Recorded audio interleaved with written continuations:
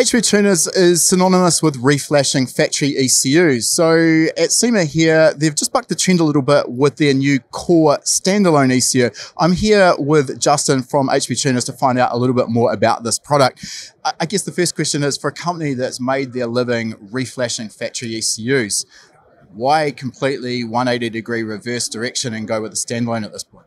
Sure, right. So uh, as you said, we've made a living reflashing factory ECUs. Um, but at some point, that customer is going to outgrow that factory ECU. They're going to want features and benefits uh, of their car, their build, uh, their hobby that goes beyond a factory ECU. Uh, and up until we release Core, uh, that customer would go to a different platform or a competitor. Uh, so with Core, having us uh, do a standalone and have other options and features and strategies allows us to retain that customer and, and move them from one HP product to another HP product. That sort of begs the question, one that constantly comes up from the reflashing world is at what point should I be going to a standalone? And I think the longer I've been in the industry, the harder that question becomes to answer. It's, it's really not black and white because, you know, there's people making 1500 wheel horsepower on a stock ECU. There's people adding forced induction, nitrous. You know, the sky kind of is the limit. But just because you can, in my opinion, doesn't always necessarily mean that that's the best solution from your perspective, what are the considerations when someone should be considering maybe the move away from a factory ECU? Sure. Yeah. No, I uh, I have the same sentiment. Right. Uh, just because you can doesn't mean you should. Uh, a lot of times when uh, builders or install installation shops push a customer to a factory ECU, uh, generally they don't know how to tune a factory ECU, right? So it scares them, so they move into a, a more simple, uh, more easy, more tuning by numbers kind of standalone. It's funny you say that. I, I, totally agree, and I was in that situation many, many years ago where I had a really good background on tuning standalone, so I knew them inside and out. I hadn't done almost anything with reflashing factory ECUs. So you're scared of what you don't know. The process of tuning them is different. The tables look different. The operating principle of the factory ECU is very different to a standalone. So I think that does put a lot of tuners off. But if we sort of look at the, the opposite side of that, particularly for a, a basic bolt on, maybe uh, an air filter, intake, headers, and exhaust, that style of tune, you know, if you're tuning a standalone, you're tuning everything from scratch. Every single table, every cell needs to be filled in. By default, that is a time consuming process. Uh, on the other hand, if you're tuning from a factory ECU with a base calibration or a stock calibration, you know, you might only need to be adjusting a handful of, of parameters, maybe some of the wide open throttle operating areas. So the tuning can be a lot quicker. So is it worth these standalone tuners putting in the effort to learn reflashing? Uh, I mean, in my opinion, I think it is because um, you're going to have different kind of customers, right? You're going to have customers that want to retain factory options, retain the factory ECU, all that kind of stuff.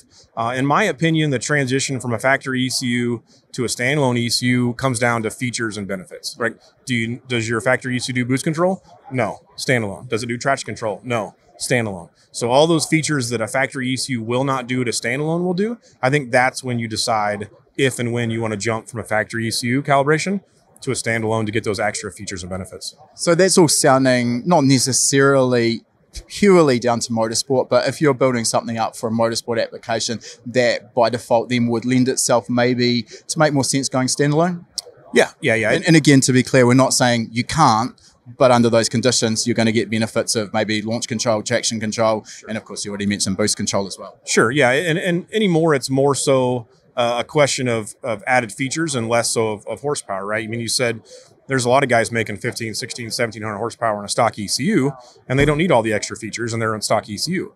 Um, but if they, they want a traction control or they want a boost control or they want a boost by time or boost by speed or boost by gear, some sort of advanced um, system like that, then yeah, they'll go to a standalone. So I think it's all comes down to, to what you need the vehicle for, what you're building it for, what it's going to do, uh, and and if you need the extra, the features in standalone or not. As uh, cars and engines have become more complicated, we're seeing the factory ECUs also become more complicated with some of their tuning strategies and you know sometimes to the detriment of the aftermarket. Uh, I'll use late model Ford ECUs for an example. They're, they're, quite complex with their mapped points, and I know even uh, a, a, lot of very skilled tuners have, have really struggled transitioning to that platform. Uh, where I'm going with this is when you're looking at building a standalone ECU, you've got complete flexibility in how you deal with engine operation. How do you walk that tightrope between offering complex features that give the ultimate maybe in performance and drivability uh, versus maybe something a bit more dumbed down that 90% of tuners can get their head around and understand. Sure. Yeah. And I think a lot of that revolves around uh, a presentation. You want to give a, a simple, easy to work, easy manipulate feeling for the guys that are beginners. So, like you know, we were kind of talking earlier. You get one fuel table, one timing table, maybe a closed loop air fuel table, right? Um, but for the guy who wants to dig deep into proportional and integral gain and offsets and all that kind of stuff, you don't put that in front of them, but you make it available through a more advanced view, or they can build their own tables, right? So essentially, you can make the ECU as simple or as complex as you're comfortable with. Correct. Yeah, yeah. Simple for the the, the beginners who want to kind of ease into it, uh, but the guys who really want to wring the most power out of their car or their truck uh, have the advanced features available. Now, in terms of the user interface, obviously you've been developing the VCM Suite software package for a long time and it's pretty evolved. However, the tables that you display and the parameters that we've got access to are obviously driven by how the ECU itself works. So whether it's a Ford, whether it's GM, what generation of each manufacturers, have you sort of tried to keep a sort of a, a, a look and feel similarity between core and VCM Suite? Yeah, yeah. So, uh, like you said, we're also kind of limited by what the the OE controller is put in there from the factory, right? So you get the tables you get, you get the locations the tables are at. Uh, with VCM Live, which is our tuning software for core, we kind of tried to make it similar uh, to VCM Suite. So anybody who's used HP tuners in the past can kind of pick it up and and roll with it. And it's going to be intuitive. Curve, learning curve's not great. Uh, I kind of compare it to like an iPhone, right? If you have an iPhone 8, you upgrade an iPhone 15. Yeah, they're different, but you've used one iPhone, you can use the other. Uh, so same kind of way. So the the the icons, um, the navigation, uh, the things like that are all very similar between Suite and Live, um, but it's different enough and advanced enough that you can create things that are were not there in a factory ECU. Now, before off camera as well, we were talking a little bit about the, the future of tuning, and OE manufacturers have kind of put us on notice that they don't want us tuning their vehicles. This is nothing new. I remember this back in the Australian domestic market, BA Falcon, when they released that vehicle, the ECU was going to be untunable. And six months later, of course, everyone's tuning it. We keep hearing those same sort of comments being made, but it's starting to become maybe more realistic that these modern late model ECUs can't be tuned. Yeah, I mean, everybody knows it's a bit of a struggle. Um, you know, with the GM and their new security. You know, the the C8 was released in, in 2019, and we released it in 2023, right? So four years of R and D to try to make sure that we offer a product that's complete and robust uh, that our customers who are used to our support can get. Um, but you're looking at four years, right? So by the time that comes around and we get to do that, those cars are already almost out of warranty and things like that. So I guess that also you've got to recoup your engineering costs there. So uh, does that just end up getting passed on to the end user that tuning one of those vehicles at the moment is more expensive? Yeah, yeah. So I mean, and, and, you know, there's also there's some exclusivity there. There's some some R and D time there. You know, when it takes four years and a handful of engineers to get into something, you know, there's a lot of R and D there. There's a lot of there's a lot of overhead there, um, and we're running into that now with with some of the other manufacturers too. I mean, Ford's the same, uh, Dodge now is the same. Um, so things get more inherently complex with security and, and things like that with these OEMs, which is not not making it any easier. But HP Tuners is always dedicated to to giving our customer base a, a, a full and a complete uh, solution to their tuning needs. So, if we are to look into our crystal ball down down the in the future, are we expecting that this core standalone will be a solution for very late model vehicles where you can't easily tune the factory engine control module. And I'm assuming there you would need to be adding on top a, a, a huge layer of complexity in terms of CAN bus communication specific to that vehicle to keep all of the other controllers and modules happy. Right, yeah, and that's kind of the reason we went CAN bus heavy on the core. So uh, the new core has actually three CAN bus networks. So one specifically for HPTnet, which is going to be our line of accessories that are coming, and the other is just two completely unrestricted CAN bus networks that you can customize the communications, addresses, speeds, things like that to make it work either with other CAN bus modules or if you're using it um, to help piggyback on, a, on, an unsupported ECU to maybe do additional port injection or anything like that. Um, you can use all that and you can do it all through CAN and you can all set it up any way you need to.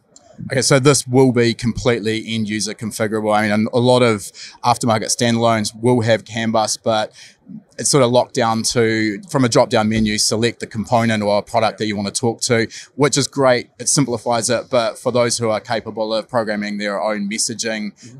you're limited. So you, it's sounding like this is more towards the complete customizability. Yeah, it's 100% user configurable. So we don't, uh, as of right now, we don't offer you any kind of uh, predefined CAN communication mapping or anything like that. It's it's 100% speed, uh, network, location, all that stuff is up to the user.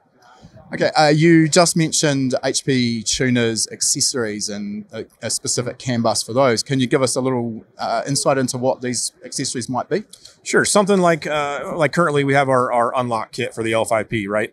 Um, it uses the M8 screw-in connector that goes into the front of the MPVI3, and you can do all that through our software. So as we grow and develop and, and kind of do, um, diversify our product offerings to help our customers. Um, things that will will either go directly into the HPTNet standalone, uh, the core, or uh, into the MPVI3 are, are, coming. So I can't get too deep into what's coming, but there's a handful of accessories that are coming that I think everybody will be able to take take good advantage of. So watch this space essentially. At the moment, we're maybe a month and a half, I think you said, into after post release of the core. So it's a very fresh product. And at the moment, what uh, what platforms is that supporting? Uh, right now, it's it's Gen 3 and Gen 4 LS. Um, we have a couple of uh, terminated, pre-terminated harnesses that you can buy, and, and they're all plug and play. Um, but we'll, we'll move into other uh, other platforms as well. I know uh, Gen three Hemi and Coyote are on are on the docket and things like that. And then I, I eventually we'll get into doing your own cam uh, cam and crank uh, triggers and things like so that. So it make it basically you could then fit it to any engine. Any you want. Yeah, we want to be able to grow. Um, you know, Gen three, Gen four. If if we that's something that's there's a heavy market uh, Gen 3 and Gen 4 LS was kind of our uh, our as we got into the market early HP tuners. That was all we did was Gen 3, Gen 4 LS. Um, so we want to take care of those folks first, um, and then but we want a, a, solution for everybody. So Gen 3, Gen 4, older generation engines now port injected. Uh, will the core standalone also support later model DI in time? Yeah, I think that's on the engineering path.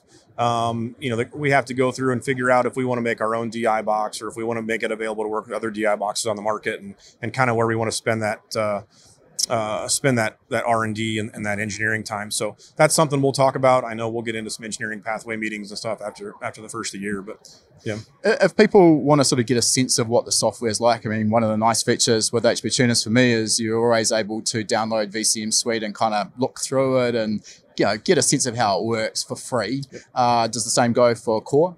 Yeah, so uh, the VCM Live software for the Core is available on our downloads page right now.